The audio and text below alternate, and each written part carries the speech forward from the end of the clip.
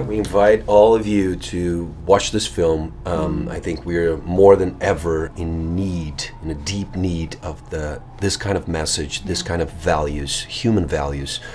Um, you know, the we. I think the world today we're back to barbarity. It is Yeah. crazy the violence and everything we're going through. I think is a truly inspiring and is very entertaining too. So we have like beautiful action moments and it's a true epic.